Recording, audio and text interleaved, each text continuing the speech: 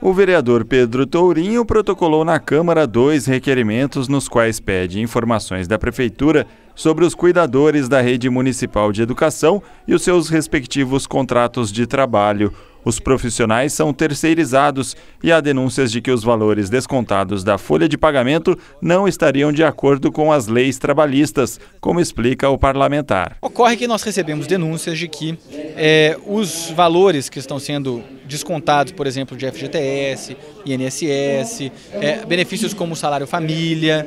é, não estão sendo recolhidos da maneira adequada. Isso nos preocupou muito, a gente sabe que a Prefeitura é não só solidária, mas como corresponsável pelos direitos trabalhistas dos empregados das empresas terceirizadas dessa cidade, né, e ela tem então que fiscalizar a garantia, é, garantir, né, fiscalizar a, o cumprimento uh, desses direitos pelas empresas que são por ela utilizadas para fazer terceirização. Nos requerimentos, o vereador questiona o valor repassado para a prefeitura sobre cada cuidador contratado, se o FGTS e o INSS têm sido recolhidos em dia, se os valores pagos a planos de saúde e similares estão em dia e ainda quem é a pessoa responsável por gerir esses direitos trabalhistas. O fato é que nós estamos vendo uma situação muito delicada na qual as pessoas estão tendo os seus direitos básicos, o seu dinheiro sendo movimentado aparentemente de uma maneira que não é compatível com o que deveria ser feito por qualquer empregador responsável e nós queremos que a prefeitura se pronuncie e garanta que isso não vai acontecer.